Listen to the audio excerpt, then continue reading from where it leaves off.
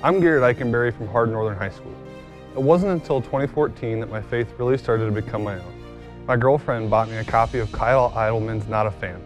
That book has changed my life in a lot of ways and made my faith really mine. FCA has really helped me in a ton of ways. One way is, is it's helped me come out of my shell. Getting the opportunity to share my faith openly with my friends and peers felt weird when we first got our FCA, but it now feels like something I couldn't go on without having. Another reason it's helped me is it really helped me see my passion. Getting up in front of the group and giving a lesson is something that I'm really passionate about.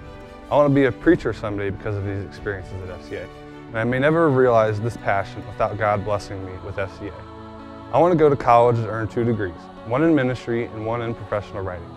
After I graduate, I want to write for some sort of company like a newspaper or magazine. I want to do this to get better at writing, but more importantly, to learn about how the real world is for real working people. After I have a grasp on how life works for the working man, I want to begin using my ministry degree. I either want to plant a church or be a senior minister at one.